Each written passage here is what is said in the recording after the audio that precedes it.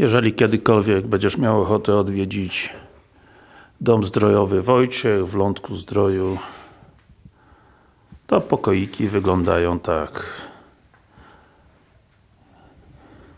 To jest niestety już po dwóch dniach pobytu, czy po czterech. Po czterech. Także małym bałaganem na łóżeczkach nie musisz się przejmować. Co się działo na łóżeczkach, to się działo. A reszta pokoiku wygląda tak. Ładne. Zasłonki.